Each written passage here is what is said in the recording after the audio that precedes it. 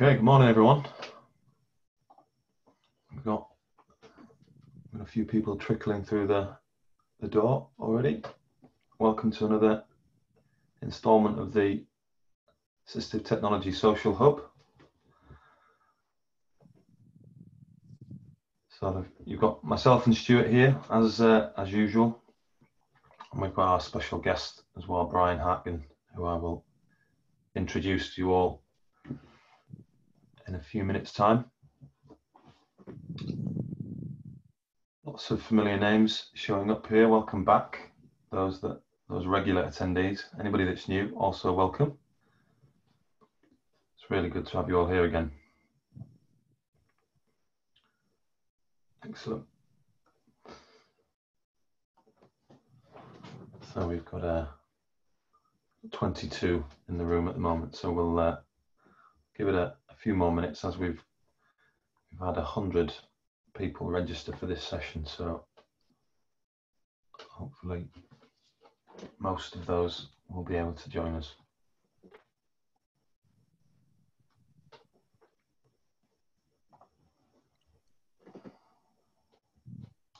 Morning, Chris. One of our very regular attendees. Welcome back. So I'll mention this again in a few minutes time, but um, while you're all here and nice and early, um, as always, please do use the facilities uh, within within the webinar. Um, there we have the, the chat box, um, which you can which you can leave any you know, observations, comments, um, and please do, um, yeah, please do feel free to use that. That's Alton H. Um, if you, want to use the, the, keyboard shortcut for the checkbox. We also have a Q&A box as well. Um, if you want to leave sort of more substantial questions, um, then yes, please feel free to to use the Q&A box. Um, you also have the uh, ability as well to raise your hand um, if you want to um, ask a question and if you want to be unmuted um, then we will there will be an appropriate uh, time uh, at the end of, of Brian's presentation to ask um, any questions um, if you want to to voice them. Good good good. To raise your hand excuse me sorry to raise your hand it's alt y on the Mac, eh, sorry, on Windows it's Alt Y and on the Mac it's Command Y, if I've got that correct as well, Sam, just chipping in there. Yeah, no, that's good. Thank you. Keeping me in check. Great. Okay, so we've got lots more people trickling through. Morning, everyone who've just joined us. Just going to take a a minute or two. We just hit 10 o'clock, but um, just want to make sure that that uh, we get as many in before we before we begin. So as I was just saying, um, welcome to another session of the Social Hub. My name's Sam from Sight and Sound Technology. We've got Stuart here from Seescape, Society for the Blind up in Fife. And we've got our special guest, Brian Hartgen from Hartgen Consultancy who will be leading the presentation for us today.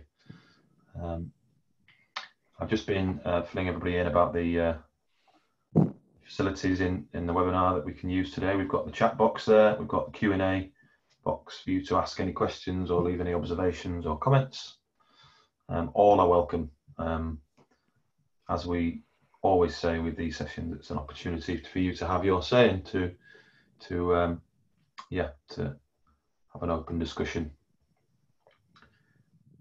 very good. One thing I will say about today's session, obviously, because we're very um, sort of privileged to have uh, Brian with us. He's a very busy man. So, um, um, yeah, the the session will the the hour will be um, will be taken up um, by obviously Brian's presentation and um, questions relating to the the products that that that Brian will be demonstrating. Um, obviously, if you have any other questions, queries, concerns about other pieces of assistive technology that you're using, um, then either myself or, or, Stuart Beveridge will get in touch after the session. Um, good. Okay then, so I make that 10.02 and uh, if everybody's happy, we will begin. Great. So once again, welcome everyone to another instalment of the Assistive Technology Social Hub. My name's Sam and I'm um, one of the territory managers um, at Sight and Sound Technology. I look after the north of England and Scotland and uh, hence our partnership with Seescape. Um, and I'll let Stuart introduce himself. Hi everyone, my name is Stuart Beveridge. I work as the assistive technology trainer for um, the charity in Fife, as I mentioned, called Seescape. Um, if anybody um, knows Fife, they, they might know us as Fife Society for the Blind. That's what we were in the past. So my my daily job really deals with um, a lot of um, screen reader related issues, such as, as JAWS screen reader technology, but I can also do um, more mainstream technology, such as the iPhone, Amazon Echo, etc. Um, it's a very mixed bag. So um, that's that's my role at Seescape. Thanks, Stuart. Great, and uh, now it's, it's, a real pleasure for me to uh, to introduce uh, Brian to you all. We're very fortunate to have Brian with us today. Um, I know that he's he's in demand, um, and uh, yeah, he's kindly agreed uh, to to come and join us for, for his second session actually with Sight and Sound. He he was involved uh, with another session, a Wednesday webinar um, with with Sight and Sound Stuart Lawler um, a couple of weeks ago, um, and he's kindly agreed to come back. Um, for those of you who don't um, maybe don't know about Brian or or, or about his uh, his work, um, so Brian has 24 years, I believe. Correct me if I'm wrong, Brian. Experience uh, training visually impaired people how to use assistive technology, and this ranges from uh, braille-based hardware through to screen reading software. Um, and this is delivered within education, um, companies, rehabilitation organisations, and individuals in their own homes. Um, for the past 18 years, Brian has focused his attention on improving the access people receive to applications using JAWS, the screen reading software from Freedom Scientific.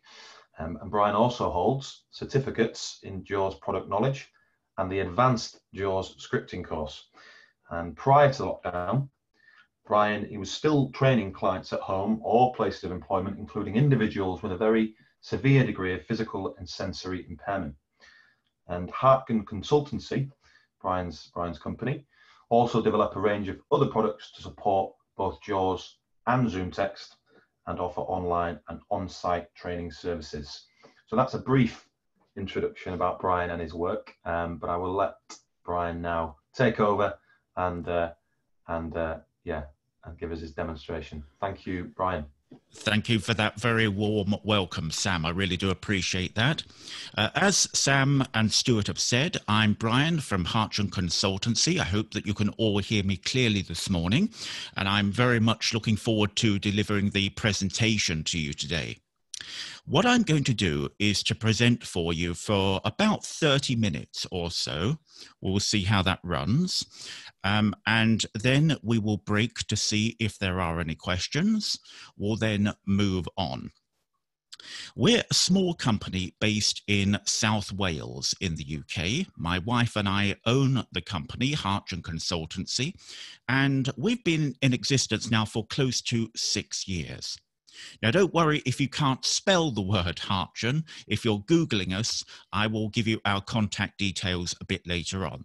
But put simply, we develop computer software products and services to support the JAWS for Windows screen reader or ZoomText Fusion screen reader magnifier. Now, let me make that clear from the outset. We don't support any other screen reading or magnification package. Now, while we are a small company, we're very glad to say that we have many thousands of people using our products and services worldwide.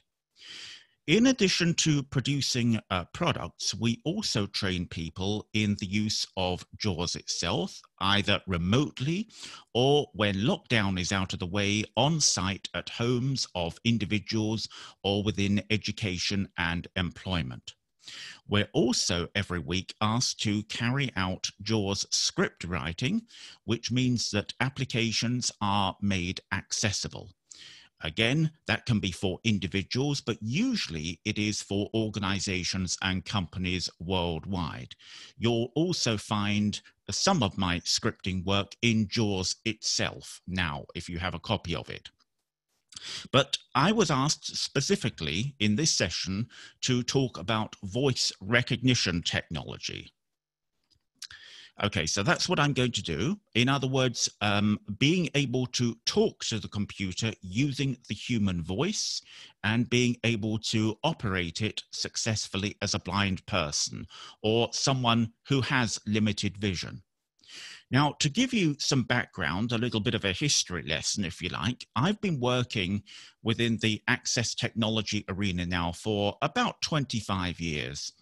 And I started out working in a rehabilitation center for the visually impaired.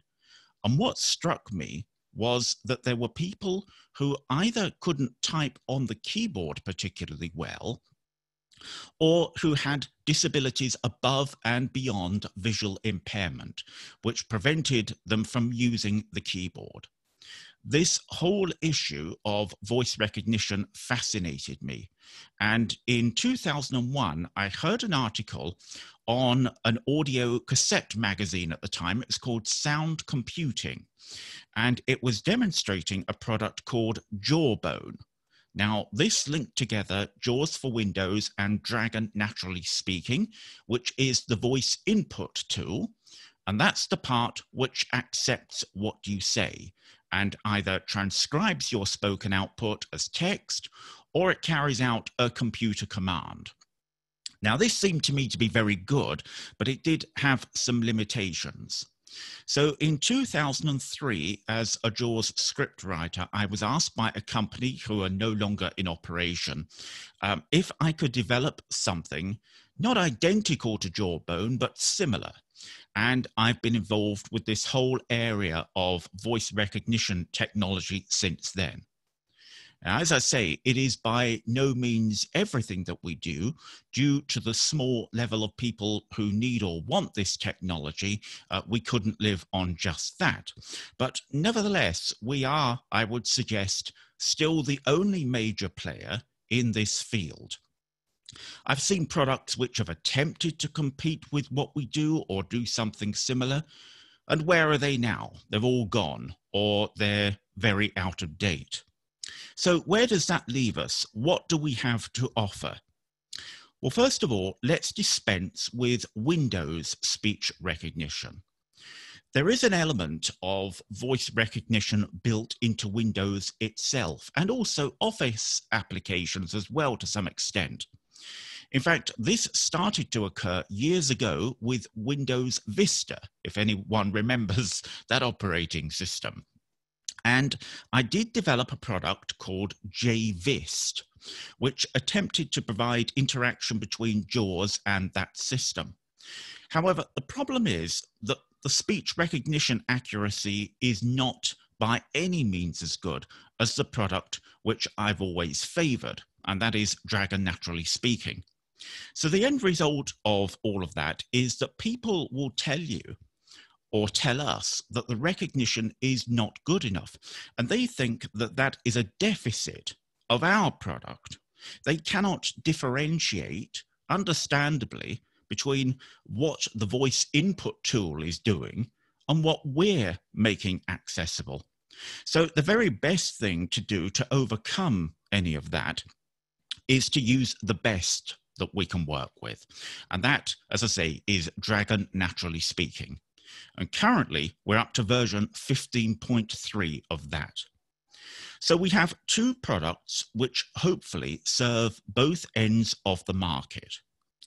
One product which we're very well known for is called J-Say.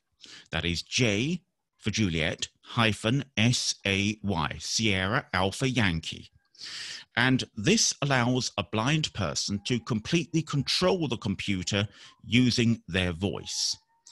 You may already be using screen reading technology and JAWS in particular. and you may be able to navigate around the computer fairly well and get the most from everything that is uh, it, it, it, offers including the use of the internet of course which is for blind people a very liberating experience but what about people who, for whatever reason, can't do that? Maybe they have no arms or hands. Maybe they can't even get out of bed at all due to the physical disabilities that they have. Perhaps they have a learning disability which stops them from remembering what the different keystrokes are which are needed. And for some of them, you need to have at least four or five hands and stand on your head, don't you? what about people who just cannot type particularly well at all? Those people are our focus for J-Say. They shouldn't be disadvantaged just because they can't do those things. They should be able to use the computer as well. Okay. It's now J-Say in its 17th year, I'm glad to say, and it's a very popular product.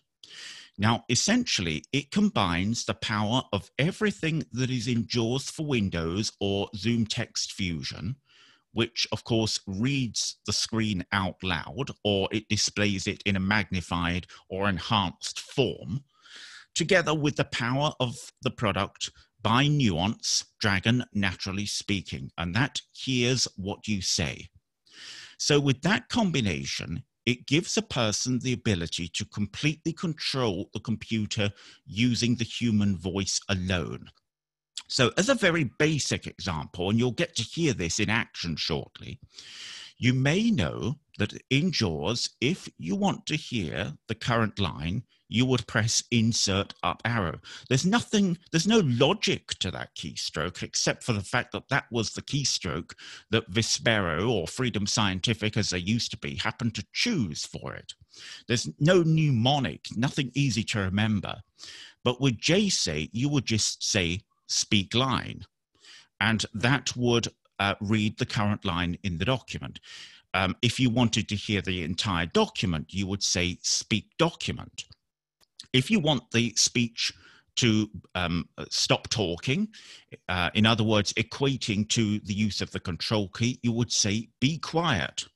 So, what I've tried to do over the years is to adopt what I call a natural language approach to this.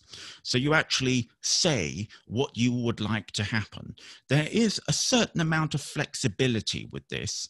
So um, with uh, the ZoomText component, for example, you can say things like make the text bigger, um, but you can also say um, uh, increase magnification. So you see that there's a little bit of flexibility. Now, obviously, you can dictate, you can take uh, dictate text, and you can also um, do, uh, do that and JAWS will echo back the text as um, when you dictate it, you're going to hear that in a moment. But we've also developed other facilities in the product which blind people who are voice recognition users uh, can actually use and, and they have suggested them over the years. I'm thinking particularly, for example, of uh, utilities such as the ability to be able to launch specific documents, files, and folders just by speaking a voice command. And if I get time, I actually want to uh, demonstrate one of those. So let's talk about the learning and support of this kind of product, because I think that's important to emphasize. Um, and I want to talk about it in this part of the presentation because I think what I'm about to say relates to why perhaps not many other companies have developed similar products in the past, because what they want to do really is just get the product out there and provide a limited amount of support. This product takes an enormous amount of support. People who use it invariably are physically disabled, as I've said, as well as being visually impaired. So, by definition, their needs are greater. They need help setting it up initially. Uh, they need quite a bit of training to get them started, uh, to get them to the point where they can comfortably use it. And as a trainer, you need a good deal of patience and understanding, as does the person using it you'll hear in a moment that when I speak a command, it takes about a second or two for Dragon to investigate in its library to see if there is an appropriate match and then do something with it. So it isn't as fast as using the keyboard. I don't want to devalue the usefulness of this product, but I have to be honest with you and say that the customer needs to, to have a very clear expectation that this isn't going to happen overnight. It isn't Star Trek, okay? It will take weeks and months of learning and practice in order for this to really work effectively. Now, having said that, we have a lot of customers who have written dramas for television using this software. Uh, they have had books published, or they just use it for everyday tasks, everyday activities, such as working with documents, email, and the internet. You can do pretty much everything with your voice if you have the knowledge and if you're willing to uh, put the effort into it. Most of our customers for this software are in America, Canada, and Australia. In Britain, historically, we have adopted a certain resistance to voice recognition software. And that is unfortunate. I always hope it will change, but it certainly hasn't in 17 years. But the people in those other countries have embraced it. And uh, rehabilitation workers, particularly in the States, are very, very keen on it. Um, Americans are particularly keen to support their veterans. And we have a lot of people who have lost their vision as a result of, uh, of, of, wars and other such incidents, and they um, uh, use it a lot out there. So that is J-Say, and I'm going to demonstrate that in just a, a minute or two. The other product that we have is called J-Dictate. Now, this is a much more low cost product and is designed for people who are quite content to navigate around Windows and edit text with the keyboard, but who want a way of being able to dictate text into the computer. So, people who create reports, for example, we have a lot of lawyers, solicitors who use this product, uh, social workers, physiotherapists, occupational therapists, anyone who feels it will be faster to use the voice to dictate notes, but who are content to navigate around Windows using the keyboard or the mouse. Now, this uses JAWS or Fusion and you can get away with using a less expensive version of Dragon, although we don't recommend it. Um, it is very watered down, and the interface is by no means as good as the product which we favor, and that is Dragon Naturally Speaking Professional Individual. So, just to give you a little bit on price, um, assuming that you have JAWS and Fu- or Fusion, uh, the other two products that you need are things like uh, you need Dragon, of course. Um, Dragon Professional Individual is half the price that it used to be. Uh, and that is 295 and if you buy it from us, we actually supply a noise cancelling headset microphone. And that's important when you're using voice recognition because it means that it only accepts uh, what you say. If there's any extraneous noise, um, it shouldn't pick that up. A lot of our customers work in or worked in open plan office environments. So you can appreciate uh, how important that is. Uh, J-Say itself costs £400, and with it, you get a raft of support materials. Uh, you get them in Microsoft Word format. Um, the documents, there's about uh, 40 or 50 of them. They are broken down into small, manageable chapters so that you can work through them systematically if that's what you want to do. Okay, so you get all of that as part of the product. J-Dictate, you know the price of Dragon already. Uh, if you did want the less expensive version, it comes out at about 135, but you actually don't get a noise cancelling headset there. Um, the Dictate product at the moment is £60. So there is a very marked difference in price, isn't there? But there is a marked difference in the functionality as well. Before I get into some demos, let me talk a little about what you actually need in order to get all this to work. The first is the computer specification. Most modern Windows computers these days can accommodate this, but really you need four gig of RAM or greater. More is always better of, of anything.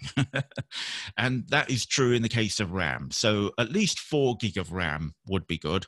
Uh, you'll appreciate that the uh, more RAM you've got, the faster this is all going to be, and the less frustrating it is going to be for the user. Okay, so that's um, that. You'll also need uh, a noise cancelling headset microphone, um, which I mentioned earlier on. That produces the greatest level of voice recognition accuracy. I've worked with a lot of people, as I've intimated, who really are severely physically impaired. And in those situations where they cannot put a headset on their head at all. Um, I have used um, uh, as, as close as possible to a noise cancelling solution. It is actually a microphone that can be clamped to a table or can just sit on a stand by the wheelchair, that kind of thing. But it does take uh, a good deal of uh, on site work, I would suggest, in order to get that kind of solution to work. Okay, so we have that. Uh, you need uh, JAWS for Windows version 18 onwards. So that takes care of the last five years, I think, worth of JAWS updates. The latest is 2020. Um, or alternatively, you can have ZoomText Fusion. Uh, what else have I got here? Office 2016, 2019, or 365 are ideal for this, although it will work with some other solutions as well. So let me just uh, quickly demonstrate a few things and then we'll break for questions because I've talked for quite a while and you might have some questions at this point. Um, and then we'll get into a bit more. Now, what I'm about to do um, is quite challenging for the computer which I am using because what I've got to do is to try and bring you the audio from JAWS and I've got to speak into Dragon using a noise cancelling headset microphone and I need to make this all good quality for you. So please be a little bit forgiving if it doesn't quite work as we think it should. Um, I think it will. I have done some testing and I think we'll be all right. Can I please ask you as well, at this point, while I am doing the demo, can you not use or type anything into the chat box? Okay, because that appears to be upsetting things just slightly. So just hold off and then you can ask all the questions you like in, in just a few minutes once I've done a demo or two. So I've got uh, rigged up here a bit of um, a Heath Robinson uh, affair, which I'm hoping that you will uh, uh, is going to work out. So I'm just starting my dragon now. Now, a person can elect to have dragon start automatically, um, which is obviously very good. And when the uh, Dragon software loads, it says the computer is ready for you to talk to it, which it has now done. You didn't hear that. I had it turned off, um, but it does actually say that. Okay, so the microphone can be in any one of two conditions. It can be awake or asleep. Now, at the moment, it is asleep. So it isn't in the main listening to what I'm saying, but it is listening for certain key phrases. It's a bit a, a bit like the A lady, the Amazon Echo. Um, so when you speak a key word or a key phrase, uh, such as check microphone, because as blind people, we need to know that the microphone is awake or asleep. We can't look at it. It's going to come back with a response. The command to awaken the microphone is microphone on, and to put it to sleep, to anesthetize it, if you like, is microphone off. Okay, so I'm going to um, just uh, deal with this now. Just bear with me one second while I get this organized.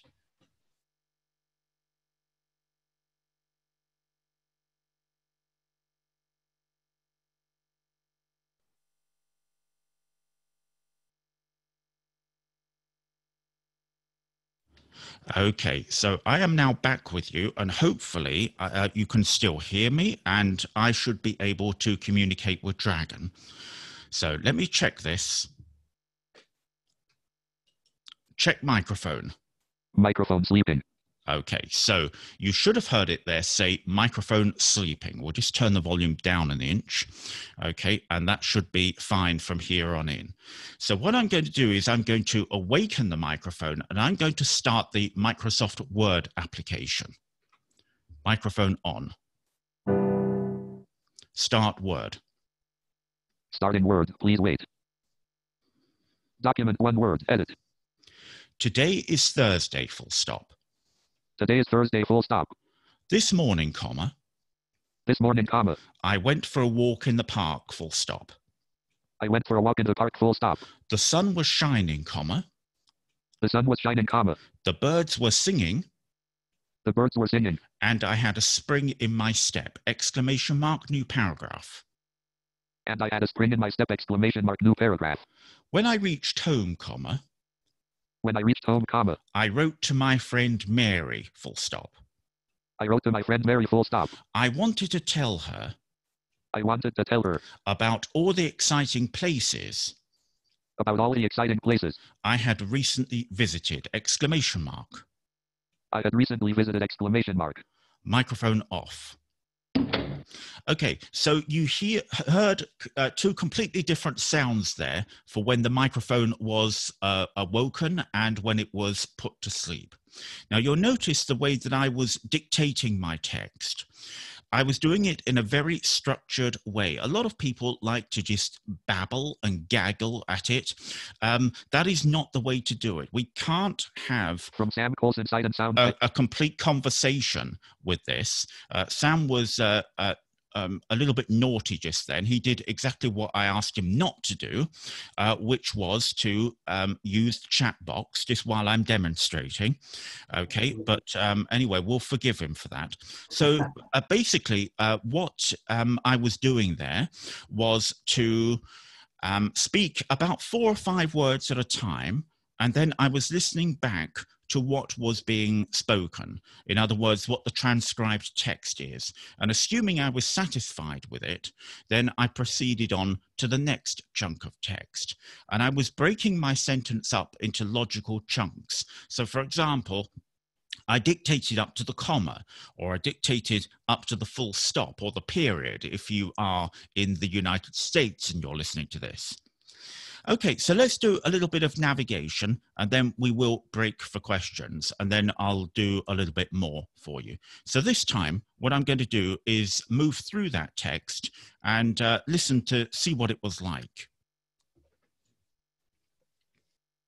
Microphone on. Go to top. Top of file. Speak line. Today is Thursday. This morning I went for a walk in the park. The sun was shining. The birds were Next line. singing and I had a spring in my step. Next line. Blank. Next line. When I reached home, I wrote to my friend Mary. I wanted to tell her about all the exciting places I Next word. I. Next word. reached. Spell word. R E A C H E D space. Go to top. Top of file. Speak document. Today is Thursday. This morning I went Be for a walk in the park. The sun was shining. The Select Mary. selected Mary. Elizabeth. Selected space Elizabeth. Speak sentence. When I reached home, I wrote to my friend Elizabeth. Microphone off. Okay, so I did a number of things there. I navigated the document a little bit. I also um, uh, got it to spell a word.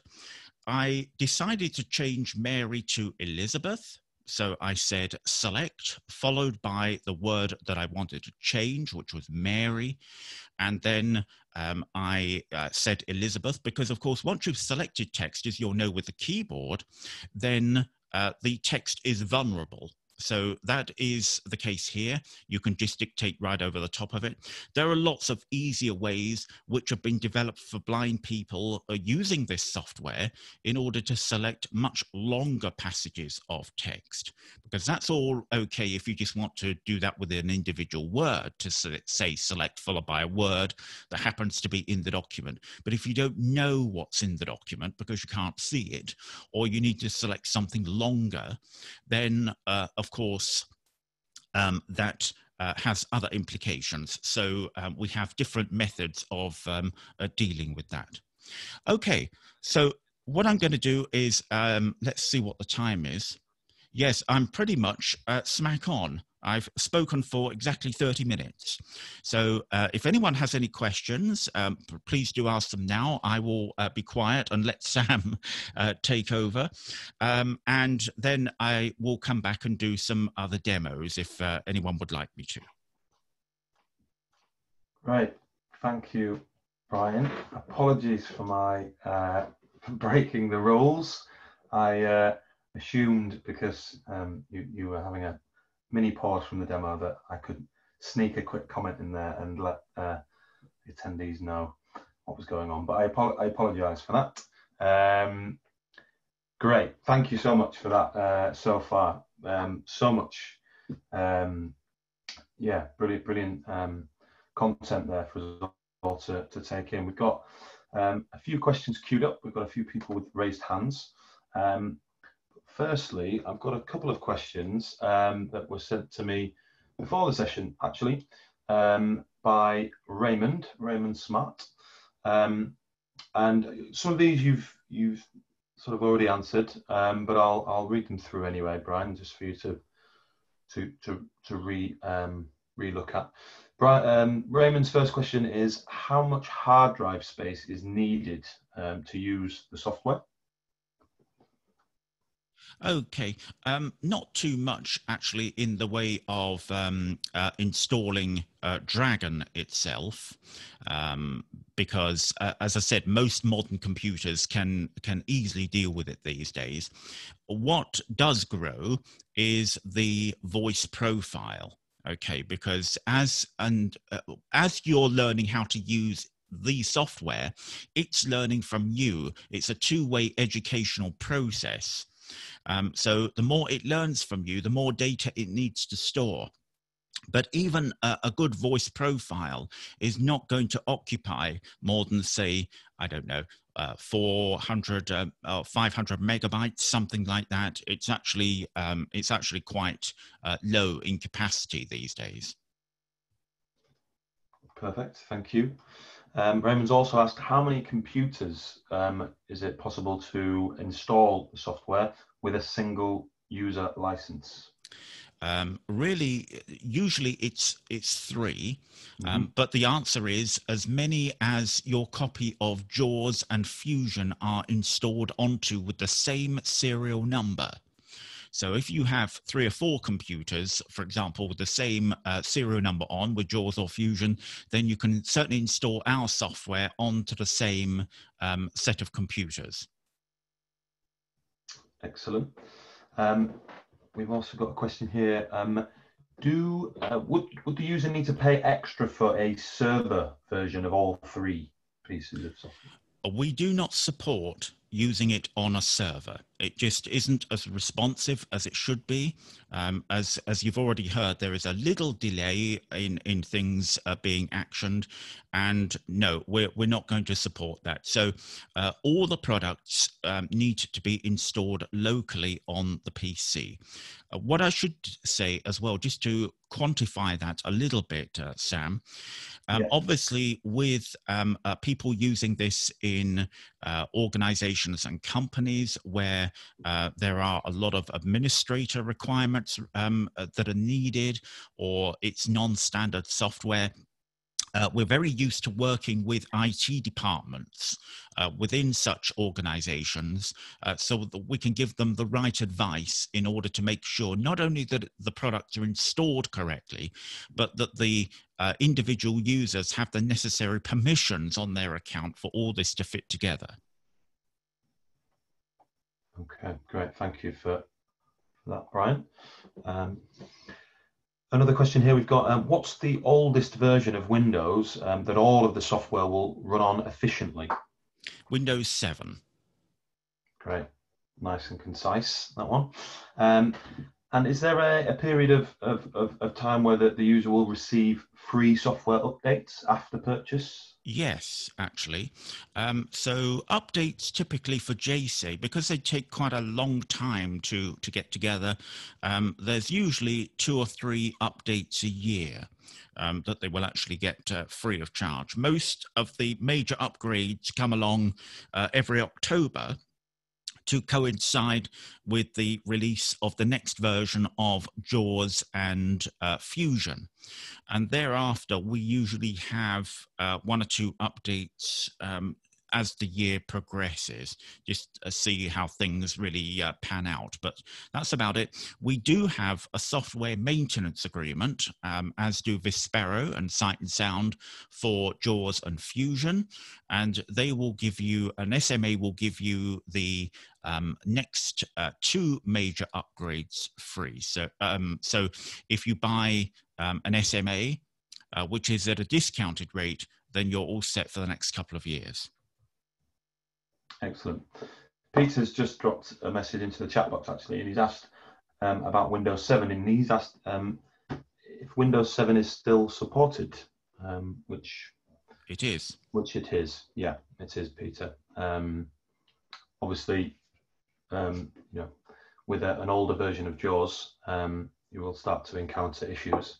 but uh, but yeah, Windows 7 is is still supported. Um, Good. Uh, another question here. We've got how much training is available to a total beginner and at what cost per hour? Well, um, as, I, as I said, you actually get um, some very comprehensive documents with it anyway. So if you're into self learning, then there is no additional cost. You can uh, you can uh, read through those documents. Um, we can provide um, a DAISY book, a text only DAISY book um, of the documents if that is a requirement. We can't provide it with um, uh, synthesized speech in audio due to legal restrictions, okay? But we can do it in text only DAISY. So if you have a device like a Victor Reader Stream or one of the PlexTalk products that Sight and Sound could sell you, then you could certainly put the Daisy book on there. We do have, at an additional cost, um, a, a service which we call J Say It.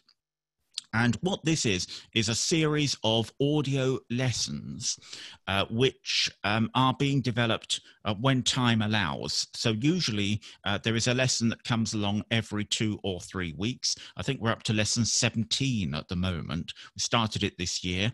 And each one um, deals with a specific topic. Now, these are audio MP3 files. Uh, the cost for that is £200, and that is an ongoing um, uh, product. Once you've paid uh, your £200, you're going to get all the lessons as and when they come along. Don't know how many there will be.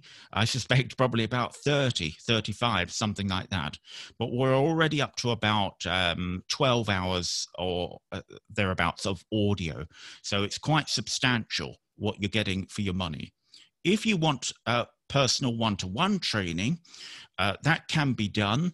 Um, a lot of people use access to work for that. And we can discuss how much training you need on an individual basis. A lot of people break it down into half days because it's just too much to remember. So, a half day is about three hours. So, I would suggest getting in touch with us if that was a requirement there. Excellent. Thank you, Brian, for that, and thank you, Raymond, for all of those questions. Um, yeah, really, really useful to uh, to get all that information. Now we've got Patsy as well, who's asked. Uh, morning, Patsy, regular attendee. Um, can J-Say and J-Dictate be installed on her Lenovo PC, which does not have JAWS or ZoomText? Um, the PC does have a built-in magnifier and narrator. The answer is no. No, we are a company exclusively dealing with JAWS and ZoomText Fusion.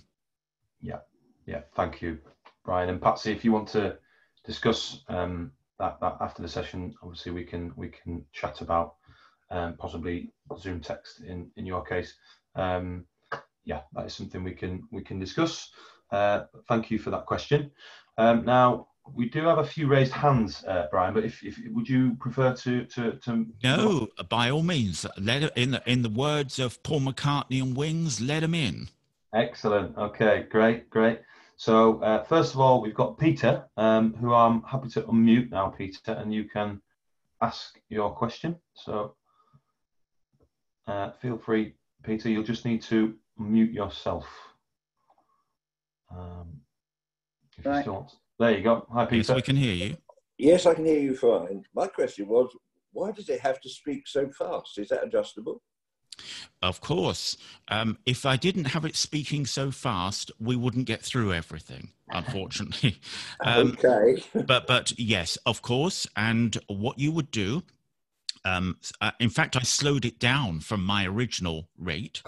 Um, okay, so um, what you would do is you would say uh, um, speak slower and speak faster to adjust the rate. I see. Thank you.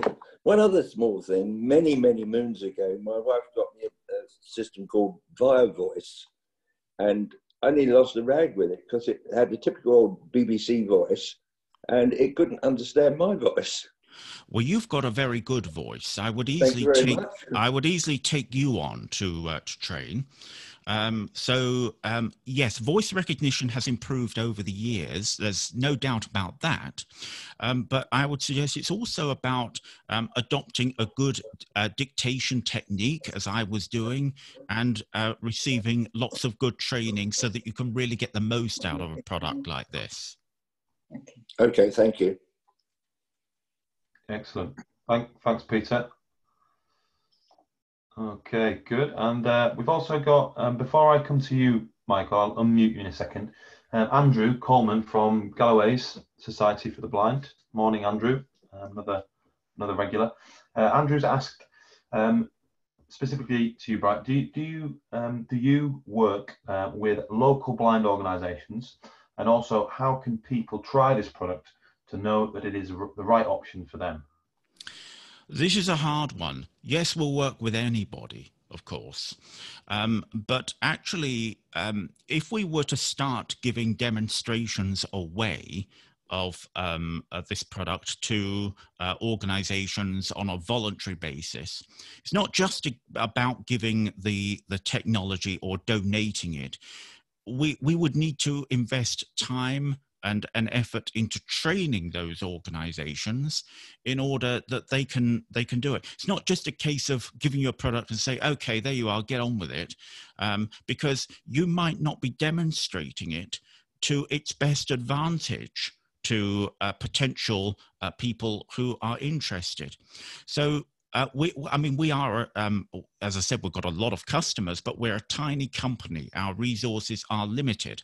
So what we do have on the website, um, which is, by the way, hartgenconsultancy.com, H A R T G E N consultancy.com, we do have a series of audio presentations on the J-Say page, which very clearly demonstrate the kind of thing that it can do.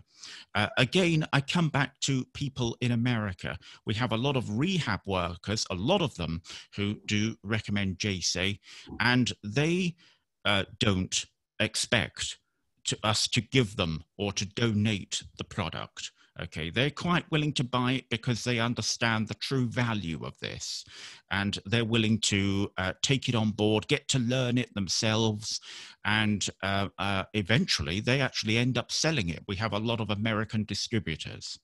So that's as far as I can go with that one. That's really helpful. Thank you, Brian. Um, good. And now, Michael, if you'd still like to, to ask your question, I'll unmute you now.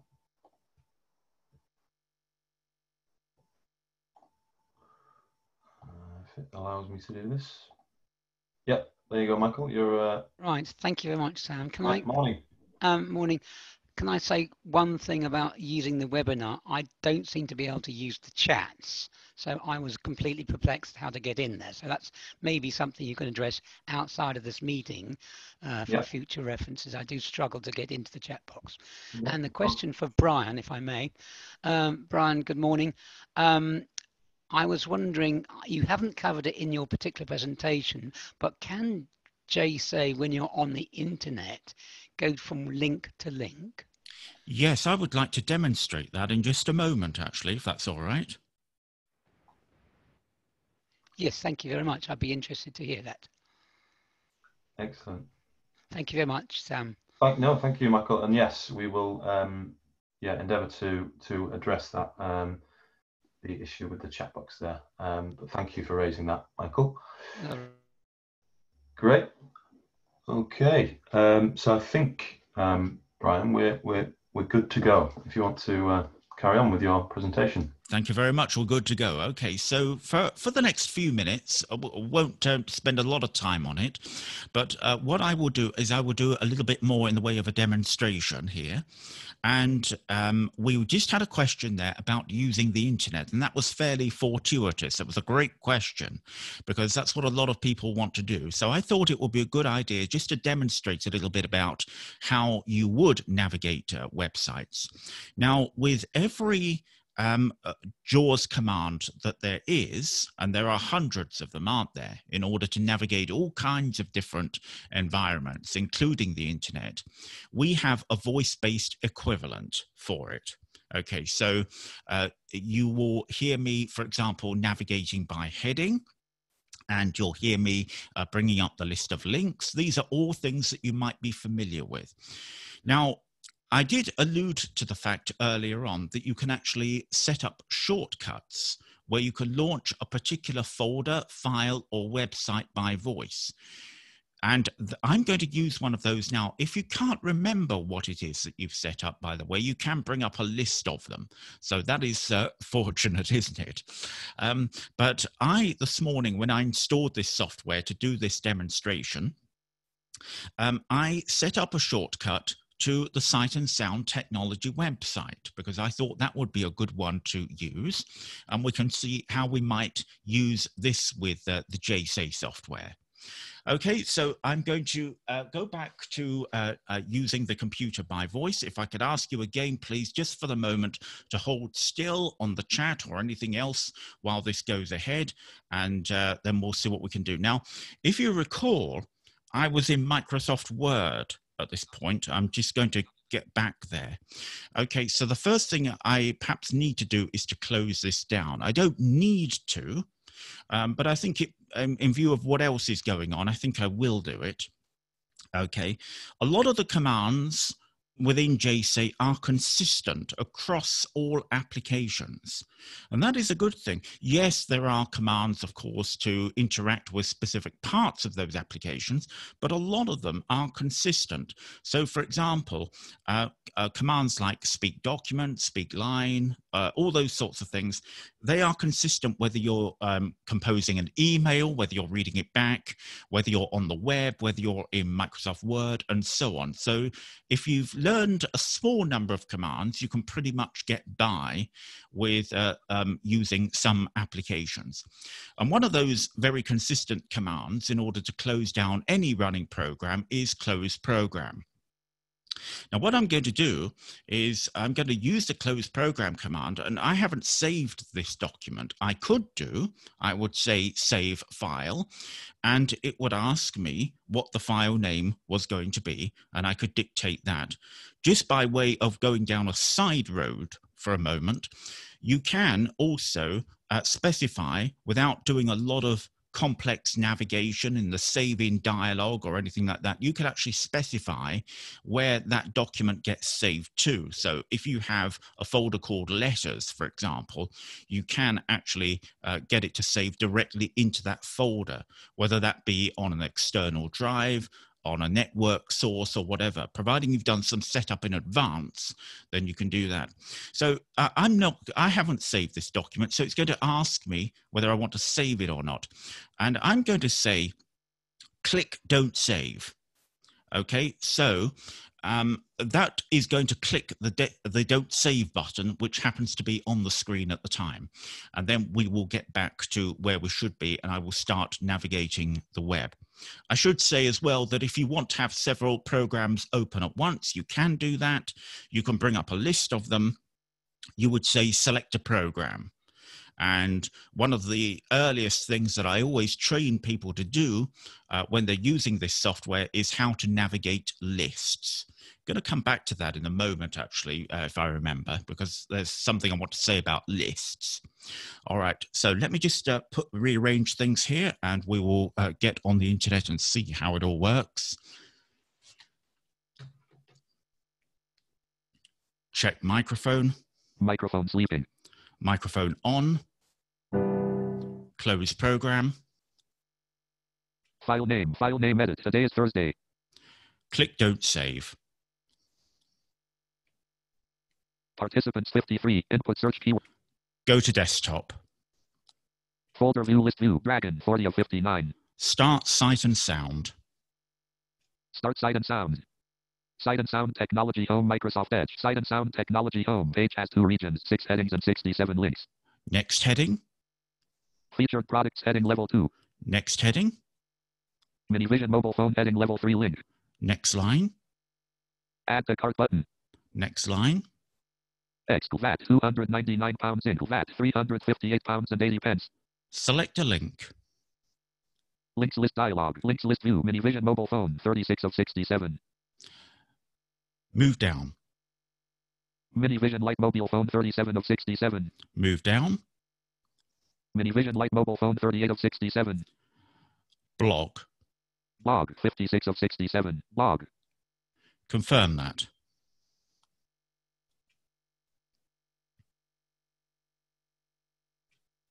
Blog slash sight and sound technology Microsoft Edge. Blog slash sight and sound technology page has one frame, three regions, 104 headings, and 192 links. Next heading.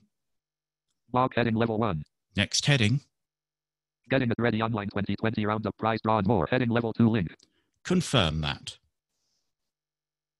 www.sightandsound.co.uk slash blog slash getting it ready online 2020 roundup prize draw and more slash Microsoft Edge. Getting it ready online 2020 roundup quiet. prize draw and more slash. Next heading. Getting it ready online 2020 roundup prize draw and more. Heading level one. Speak document. Heading level 1 Getting It Ready Online 2020 Roundup Prize Draw and more. For those who don't already know, the annual Getting It Ready event has been developed to provide disability professionals further and quiet. education pay and and Microphone off. So let me explain one or two of those uh, commands for you because I thought they were quite interesting, although I say it myself.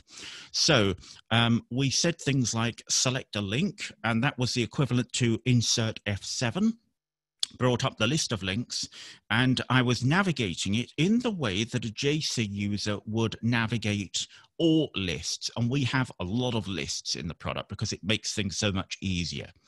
So uh, those commands are move up and move down. Now, of course, there are easier ways or, or more rapid ways of getting to where you want to be, because if you were just saying move down, and hearing the next link, you'd be there all night, wouldn't you? If there's a hundred odd links on the page, so you can actually uh, use commands like move down ten or move up twenty in order to get to where you want to be. But I happened to look this morning, and I saw there was a link called blog on the Sight and Sound page.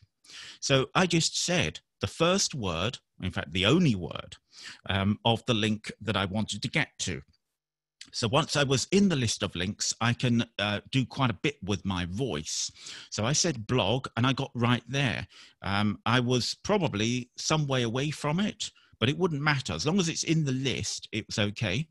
And then I said confirm that. Now that, that is a command that we use liberally. And it is almost the equivalent of pressing enter, although internally in the code it actually does quite a bit more than that. Um, but that launches uh, things. We had the question there how do you activate a link? Well, that is one way. Um, and we've learned how to move from one link to another through the list of links, although you can say next link and previous link, things like that. And we read some of the web page as well. If we wanted to go back to the previous page, I would have said go back a page. And that would have done exactly that.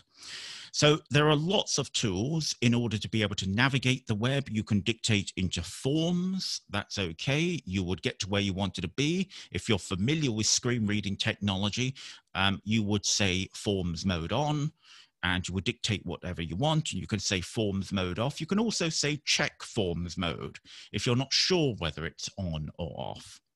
The other thing I wanted to say about lists was that um, a lot of people, as I say, in America, they really um, appreciate teaching blind people how to navigate lists. And we did get uh, a request from uh, a rehabilitation uh, center out there. And uh, what they wanted to do was to make it easier for people to navigate the Outlook attachments list. Um, because it's not always easy, even with the keyboard what you actually have to do, obviously, is you get into the body of the email, you press Shift and Tab to get into the attachments area, and you arrow left and right in the current incarnation of Office to get to where you want to be.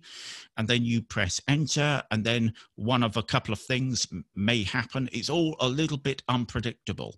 And also, if people paste uh, pictures or, or the attachments into the body of the email, uh, they don't come up anyway. So uh, they were looking for a much more robust method of being able to make these attachments work. So what I did was I built a list of attachments. So it goes through and it presents all the attachments into uh, a vertical list. And that means that people can use the commands that uh, they're already familiar with, such as move up and move down, etc. And then they can press enter or say confirm that, and the, um, the uh, individual attachment will open. Finally, I'd just like to end by, by saying this before I take any more questions. I'm very happy to take any questions. With J-Say especially, we do not stop you from using the keyboard and JAWS functionality. So if for whatever reason you want to graduate to the keyboard or you want to use the keyboard for something, we're not going to say, no, you, have got to just use your voice. Uh, that would be just so impractical because a lot of people want to mix and match their skills that they've got. So we're not as inflexible as that. So you can use JAWS in the way that you would expect to be able to use it if that's what you want to do. Um, and uh, you can use your voice as well in order to be able to control it. So I'd like to thank you very much for inviting me along today. Uh, it's been an absolute pleasure for me in talking to you and uh, presenting the software that we have. Um, of course, as I've already given, the website address is Hartgen, H A R T G E N consultancy.com. But I'm very happy to stay around for, uh, you know, quite a, quite a long time if necessary in order to answer any questions. And thank you to Sam and his team as well for giving me this uh, really good opportunity. Thank you, Brian.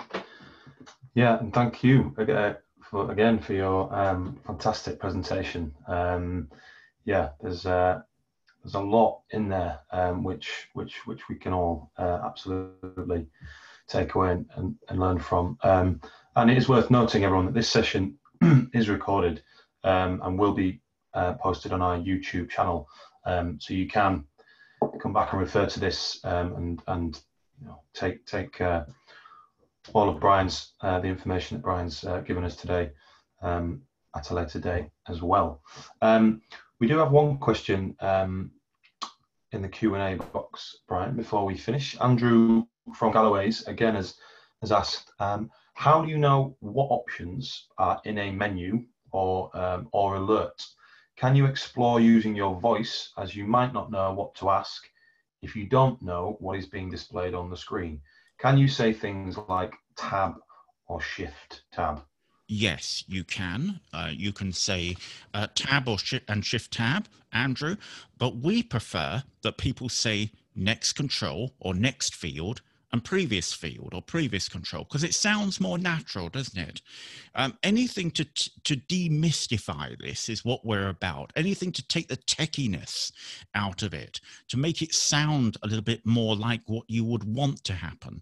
But yes, you can certainly do that. You can also say things like speak dialog box, which will recite all of the controls in order. It's like giving you um, an oral overview as, as to what's in front of you. You can say things like speak window title. If you want to know what the window title is, and obviously uh, you'll know with JAWS that's going to give you the heading information as well if you're on a web page. So yes, there are lots of um, facilities in there um, so that you can actually uh, get an overview as to um, what's in front of you and what you can do. Brilliant. Thanks, Brian, for that. And uh, Chris, yeah, Andrew has also thanked you uh, for that answer, Brian.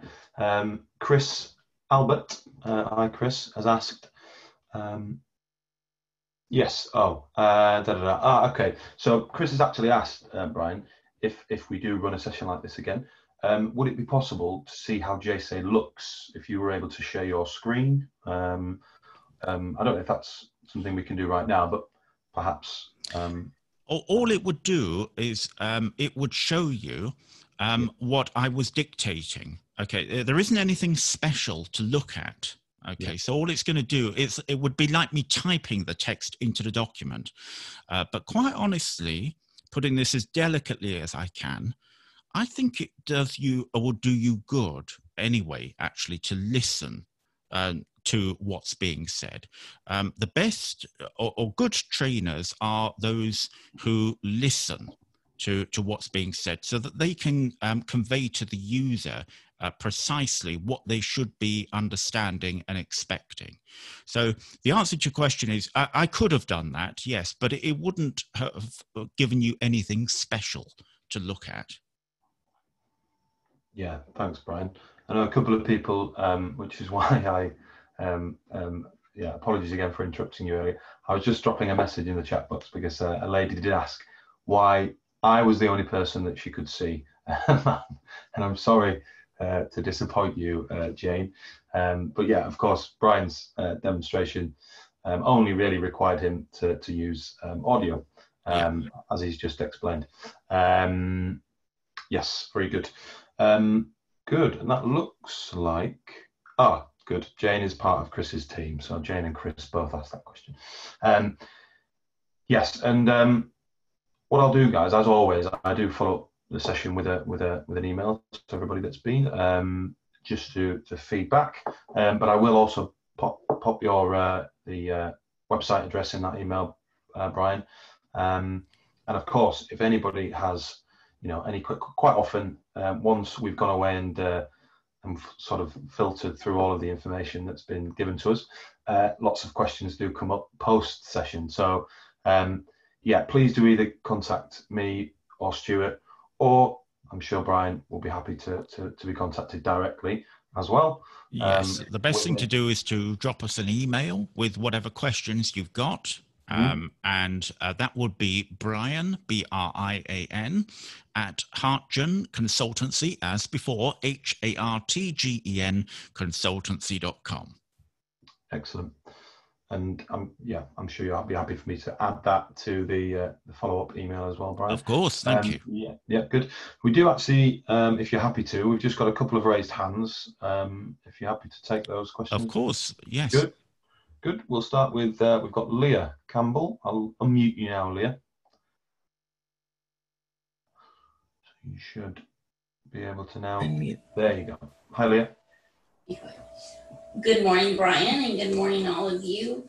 Um, hello, first... hello uh, Leah. And just to explain to people that Leah is actually using voice recognition software. She is a J-Say user and um, she is doing extremely well and always has. I don't want to embarrass her at all, um, but yeah. she she does extremely well.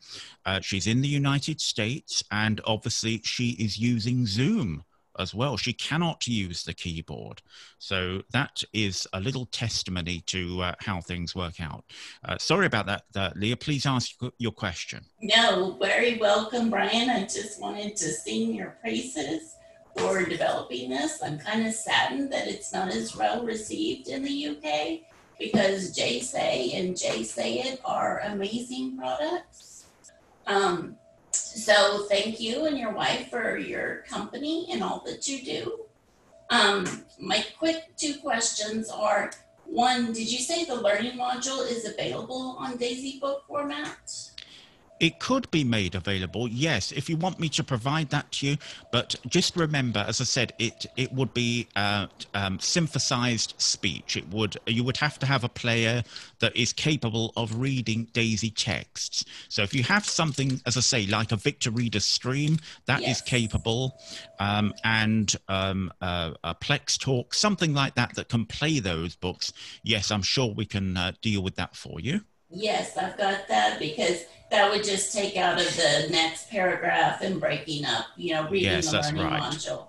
Yes. Um, and second, why doesn't J-Say support a SAPI voice and would it ever?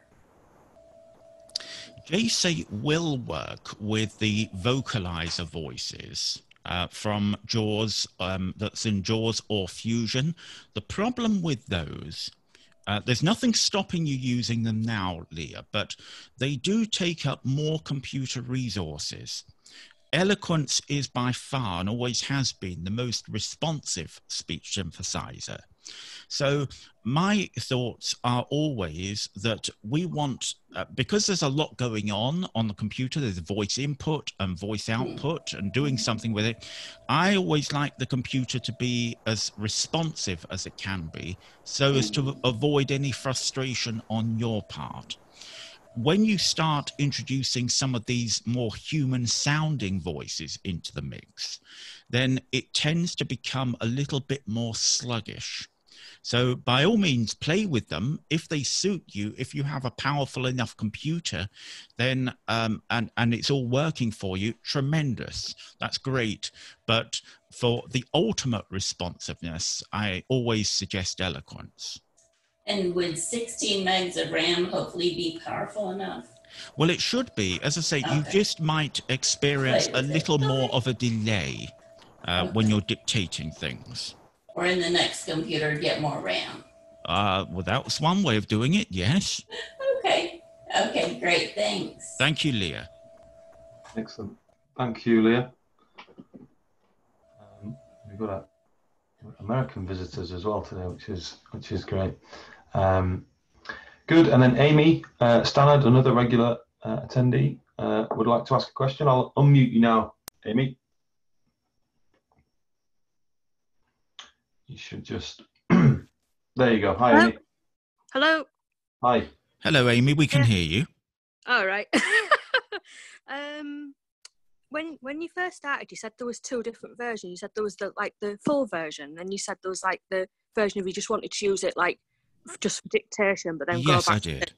Um, what's what's is there a diff is there a difference in the way you use it is it is there less commands to it or do you use it there the same way there are no, there are no commands as such um, so this is about dictation only uh, just to summarize for anyone who may have missed it there is a product that Amy mentioned there called J-Dictate. What I was demonstrating which was J-Say, uh, which gives you complete hands free control of the computer. Now, J-Dictate is different. What it will do is it will echo back the text. You'll remember that when I was dictating text in my Word document, it was speaking it back to me phrase by phrase. Um, so that is what J-Dictate does together with uh, making some aspects, or quite a lot of aspects of Dragon itself more accessible from a keyboard standpoint. So, what you would do in the case of J-Dictate is you would get into your Microsoft Word document or any text edit area. It could be an email, it could be um, a tweet on Twitter, either via the website or using um, uh, a custom Twitter client like TWBlue for instance, uh, which is freely available, whatever the text area is, you would get into it. You would press a key on the keyboard and that would awaken the microphone and you would hear the musical chord sound that you heard earlier on you would then go ahead and dictate it would repeat back the text so you could make sure that it was correct when you finished dictating your text, you would again press the same key on the keyboard. You would hear the closing door sound, and then you would edit it or do whatever you wanted with that text or move around the application itself. Um, and so it is very, very different to how you would use J-Say. You do not even awaken or um, put to sleep the microphone with voice commands. It is completely keyboard driven, and that's the ultimate difference. And is um is a difference in price between the two? Oh, definitely, because there's a marked difference in the functionality. J-Say does a lot more. So, just to reiterate, the um, price for J-Say is £400 and the price for J-Dictate is 60, 60. Now, don't forget that you also need a copy of Dragon NaturallySpeaking as well. It isn't a self contained application, so you do need Dragon uh, in order for that to work, but those are the costs. I should say with J-Dictate, you also get documentation. It's much slimmer, um, but it does uh, take you through everything that I've said. And of course, in terms of installing it, um, uh, it is all described from the perspective of a keyboard user who is visually impaired as well. So there's no reason whatsoever why a blind person couldn't install this software. And because you've got because you've got no commands, so you'll you'll type something and using your voice. How do you get it to read back then? If you've got you would use whatever your screen reading command. I mean, it's going to read it back automatically anyway. That is what J-Dictate is about. Okay, so if I said to you, uh, "Dear Amy, new paragraph," it would say, "Dear Amy, new paragraph." Okay, so I knew. But it still, ha- it, it still has that element. It still has to read back. That's the point of the J-Dictate element. Yes, it has that. What you can't do with dictate is to use commands like speakline or speak document. You would use your conventional keystrokes in JAWS or Fusion in order to interrogate it, to read that text back, to proofread it. And I'd always recommend proofreading when you are using voice recognition. So, in the case of uh, it, uh, reading the current line, for example, it will be insert up arrow, which is the standard JAWS command. Right. Thanks. Thanks for that. I wasn't sure what the difference was. That's absolutely I knew there must no be some some difference, but I wasn't sure. A great question. Thank you for asking. Thanks. Thanks, Amy. Thank you. Excellent. Um, we've got a couple more, uh, Brian, if, if you're happy to take them. So we've Please got, do. Um, yeah. Chris again has asked. Um, yeah, he's asked. So, is he correct in thinking that the the minimum that a VI, a visually impaired user needs is ZoomText plus Dragon plus J-Say. Zoom text fusion. Okay, it's important to emphasize yeah. that. Okay, it's not because you can buy ZoomText. It is not a product that works with ZoomText standalone. So it's either JAWS or ZoomText Fusion. But uh, apart from that, yes, you are correct. Good. Just to explain to everybody, um, so ZoomText Fusion, for those of you who don't know, um, essentially combines the ZoomText magnification software with the functionality of the JAWS screen reader um, in one piece of software. Um, so yes, Chris, so you would need, um, as a minimum, you'd need ZoomText Fusion with the Dragon NaturallySpeaking and J-Say to pair, pair the, the two or three together. Um, great. Thank you, Chris. Um, and Paul has asked, so he has uh, two PCs. One operate, operates on Windows 7, the other on Windows 10. Would he be able to use the one product on both, or would he need to purchase the product twice due to having two different operating systems? No, he would be able to use the single product. Excellent nice and straightforward that one. Um, now we have a, a couple more raised hands. Uh, Michael again, I'll unmute you, Michael. Hi again.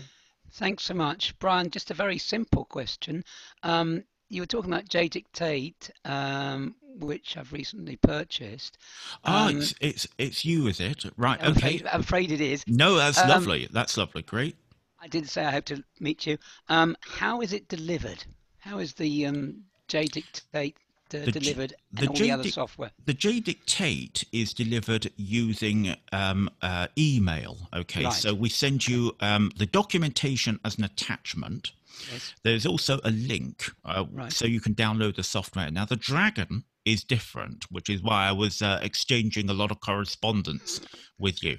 So, uh, because what we want to do is to provide you with the best level of voice recognition, we send out uh, Dragon with a USB noise cancelling headset that I mentioned earlier on.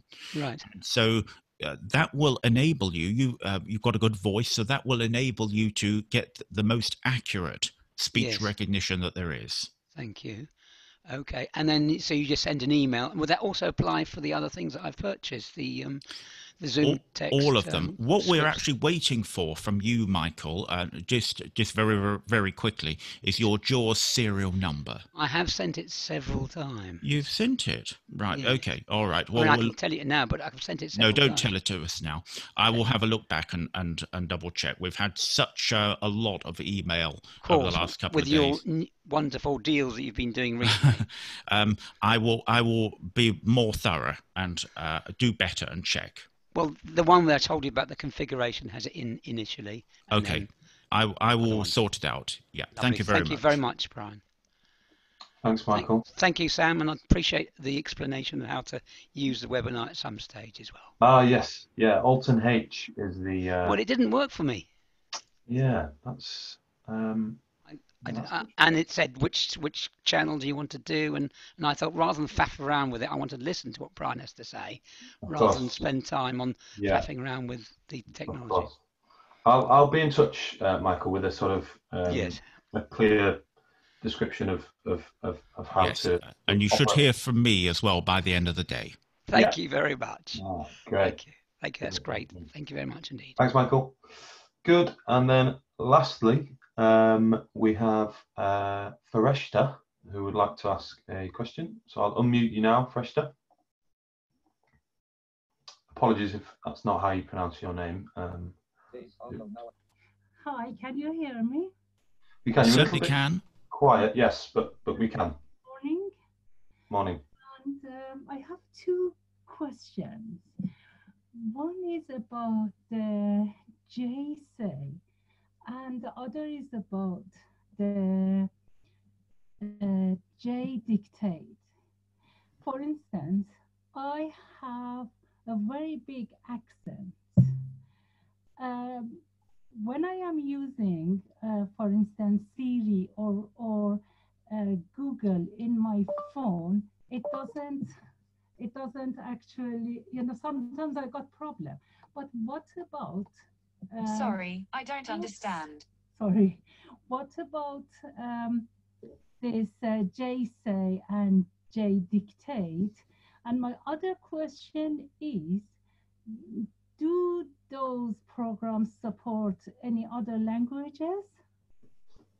Okay, two great questions. Let me deal with the first one first because uh, it needs a bit of a longer explanation. You. You know, when um, Google and Apple started developing these voice recognition systems, um, it was great because it brought voice recognition to the masses. Okay, so uh, a lot of people were able to take advantage of it. The problem with it is that it is all processed using the cloud, using the internet. Okay, so what that has, the, the, there's a disadvantage there in that the voice recognition isn't particularly good. So even uh, I think I have quite a clear voice.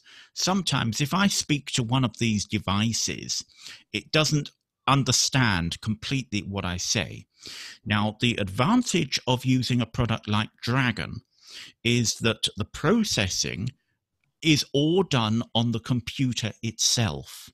Okay, and it has a very large uh, library, a very large vocabulary, and it can understand. Uh, it's more forgiving in terms of the accent that a person has.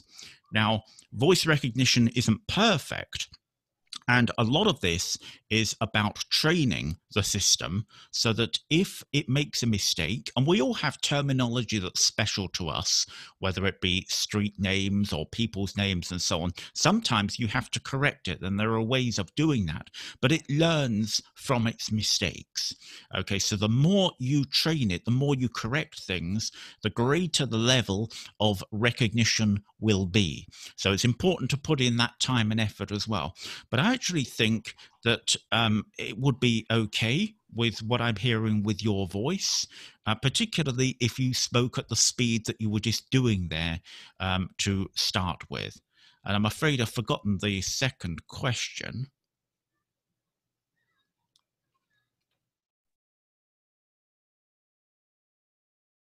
Would you like to reiterate your second question? Sorry, what did you ask?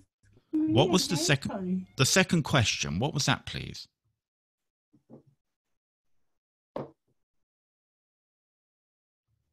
Not sure if you can hear us, Freshton. I'm not sure. I've I've answered your first question, madam. Um, if I'm waiting for the second one now. Sorry, my, my internet. Uh, It doesn't sound as if it's particularly strong. There's a bit of a problem there. If you just try once more to ask the second question.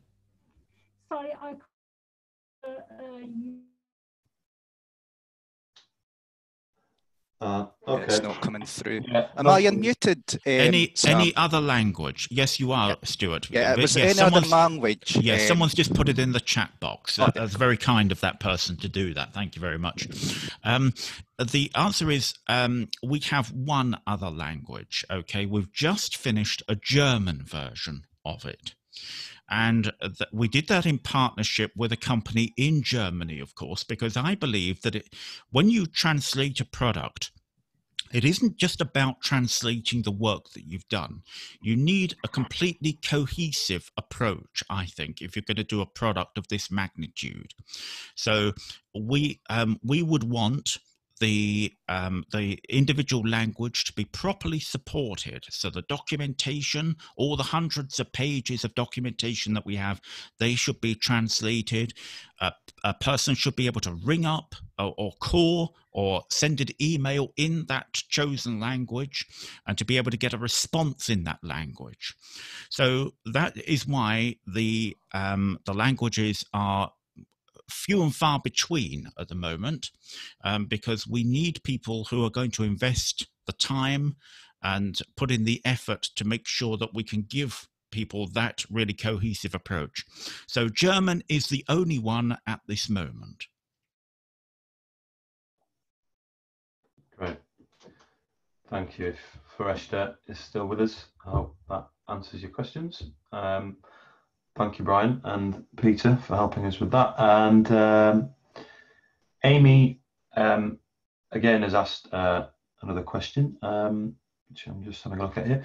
So she's asked if if you can't use the headset, so I assume she means the headset that you provide Yeah. Right. If, if you're unable to use that because um, because you already use a particular type of in-ear headphone due to a, a hearing impairment, um, can you use a separate microphone system and carry on using your particular headphones? Yes, it would depend upon the kind of microphone that you were going to use. A lot of people think they can use the built in microphone of their laptop, which is very unsatisfactory because they tend to be of an extremely poor quality. And remember that if you're going to use a microphone like that, um, it is in danger of capturing a lot of extraneous noise as well. So you'd need to very carefully manage it. It would need to be in a very quiet room, or you'd need to have a, an excellent microphone in order to deal with it. Uh, theoretically, yes, it can be done. Yeah. Thanks, Brian. Yep. Hope that helps, Amy. Um, and I believe that's it, Brian. We just we've got another comment from Andrew who has just said, uh, yeah, he wants to say how well um, you've presented today, and it's been a real pleasure. That's from Andrew from Galloway's. Uh, thank you very much indeed. Thanks, Andrew, as always, for joining us. Um, and I think Brian, that's that's that's uh, that's all the questions that we've got. So um, well, that's that's wonderful. Um, again, anyone can, can follow up uh, if necessary. But again, uh, thank you, Sam, for giving me the opportunity, and um, look forward maybe to presenting to you again sometime. Definitely, definitely. No, thank you, Brian. It's been a it really has been a pleasure. It's uh, it's quite a yeah quite a uh, we're very lucky, very privileged to have, have you with us uh, today to present, and uh, I'm sure everyone will join me in uh, in thanking you for that brilliant presentation. Um, so yes, that that's uh, that's all we've got time for then, uh, everyone. Thank you again for another really successful um, social hub event. Um, I will be in touch, as I said, after the session um, with with some follow up details um, and also some contact information for, for Brian. Um, again, please do get in touch with either myself, with Stuart, um, or with, with Brian um, if you want to discuss what, what's been uh, demonstrated and presented today.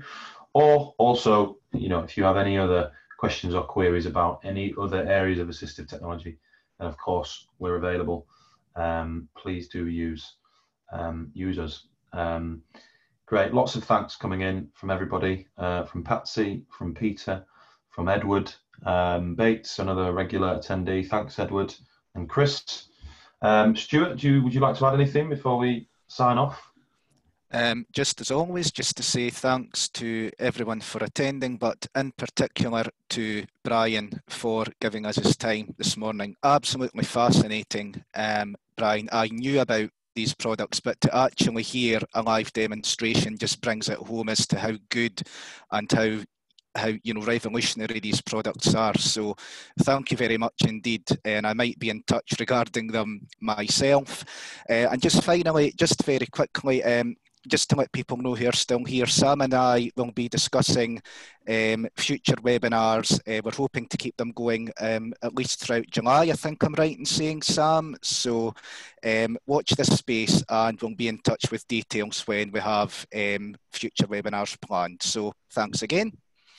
Definitely. Yeah, thanks. Thanks, Stuart, and thanks for mentioning that as well. Um, yes, and also please do send us your suggestions for future sessions. I actually can't take the credit for uh, for, for getting uh, Brian along. Um, this actually came from a, from a, an earlier session. Um, I think it might have been Andrew actually from Galloway's who suggested we explore um, Jaws and Dragon and J-Say, and um, hence um, why we invited Brian along. So please do send us your suggestions if there's any any um, yeah any particular pieces of software or, or hardware that you like um, to, to see demonstrated or discussed, then please do um, let us know and we'll add that to our list of future sessions. Great. I'll, uh, yeah, I'll leave you with the final word, Brian, if you want to sign off. No, um, I think I've said everything that I wanted to. Uh, thank you very much once again. Great. Thanks, Brian. And thanks everybody again for joining us. We'll see you in a couple of weeks' time. Thank you.